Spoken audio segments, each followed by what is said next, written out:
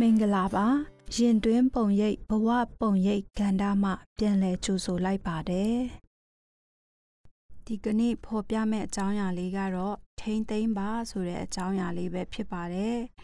ဒီနေ့မှာတော့ခုခေတ်လူငယ်လူရွယ်သမီးပြိုသားပြိုတွေအတွက်ဘဝတုတလေးအဖြစ်ရော သင်ခန်းစာယူစရာအဖြစ်ရော ဖော်ပြပေးချင်ပါတယ်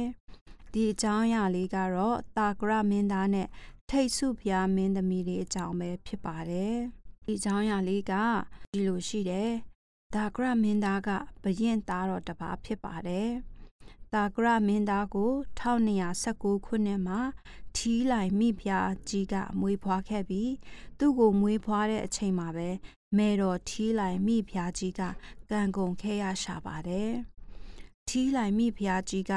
လောင်းရှည်ဝန်ကြီး တဒိုးမင်းကြီးမဟာစီတူပွဲခံဦးမောင်ကလေးရဲ့သမီးတော်ဖြစ်ပြီးမင်းတုံးမင်းကြီးရဲ့မန်နန်းဆောင်မှာမန်နန်းအပြူတော်ကြီးအဖြစ် အမှုတော်ထမ်းရွက်နေချိန်မှာ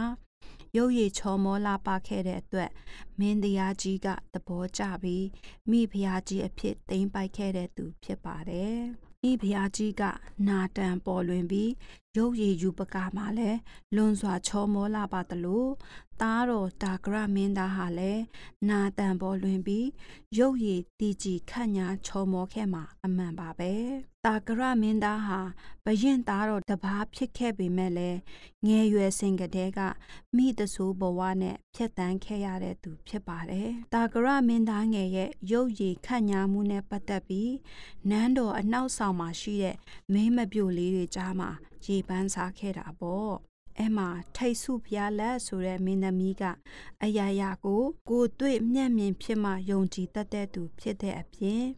အမျိုးသားတယောက်လိုပဲဘာကိုမှမကြောက်မလန့်လှုပ်ရဲကန်ရဲပြောရဲဆိုရဲတဲ့သူဖြစ်တယ်။သူကအလယ်နန်းတော်မိဖုရားရဲ့သမီးတော်တူပေါ့။ဒါဂရမင်းသားလေးရဲ့ချောမောလာပတဲ့သတင်းစကားက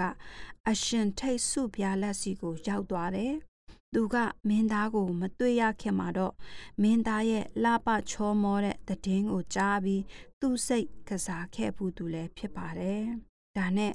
အရှင်ထိတ်စုဘုရားလက်ကဒီတည်င်းဟုတ်လားမဟုတ်ဘူးလားမှန်လားမမှန်ဘူးလားဆိုတာကိုအတီးပြုတ်ဖို့အတွက်သူကိုယ်တိုင်တာကရမင်းသားရဲ့ရုပ်ရည်ချောမောခန့်ညာမှုကိုကြည့်ဖို့လူလင်ပြိုတအူးပုံစံဟန်ဆောင်ပြီးတော့နန်းတော်အပြင်ဘက်မှာရှိတဲ့ ပြင်အိမ်တော်ဆန်မင်းသားကြီးတွေရှိတဲ့တစ်သက်ဝင်းတဲကို ထွက်သွားခဲ့တယ်။အဲအချိန်ကဒါကရမင်းသားငယ်ဟာပြင်အိမ်တော်ဆန်ဘဝမှာအရွယ်ရောက်ပြီးတဲ့မင်းသားတို့တဘာဝအတိုင်းထားရှိတတ်တဲ့ကိုလုတ်တော်တွေထားရှိနေပြီဖြစ်တယ်။အဲ့ဒီအကြောင်းကို ထိတ်စုဖျားလက်ကြားတဲ့အချိန်ကစပြီးတာကရမင်းသားပေါ်စိတ်ကစားခဲ့တာတွေအပီးပိုင်ရက်တန့်သွားခဲ့တယ်ဆိုတာဖတ်မိပါတယ်။ ထိတ်စုဖျားလက်ရဲ့စိတ်ဓာတ်ကထူးဆန်းတယ်လို့ပြောရမယ်နော်သူတို့ရဲ့အပြိုစင်ဘဝကို အညိုးနွမ်းမခံပဲအမြဲဆောင်ရှောက်နေခဲ့ရတယ်ဒါပေမဲ့သူတို့တွေနဲ့လက်ဆက်ကြမဲ့မင်းယောက်ျားမင်းသားတွေကတော့အဲ့လိုမဟုတ်ပဲသူတို့ရဲ့လူပြိုရည်ဘဝကို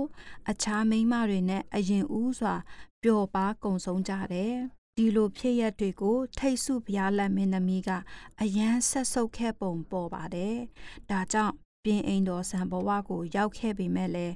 ကိုလုတ်တော်အပျော်မရားတယောက်တလေမှမရှိခဲ့တဲ့ဒီဘောမင်းသားကိုပဲသူ့ရဲ့ဖူးစာဖက်အဖြစ်ရွေးချယ်ခဲ့တယ်ဆိုတာကိုသိရတယ်။ ဒီအကြောင်းအရာလေးကိုဖတ်ပြီးဒီနေ့ခေတ်လူငယ်လူရွယ်သားပြိုသမီးပြိုတွေကိုဘာဝေမျှချင်တယ်လဲဆိုတော့ဒီနေ့ကိုကိုကိုတန်ဖိုးထားတတ်ဖို့လိုတယ်ဆိုတာပြောပြချင်ပါတယ်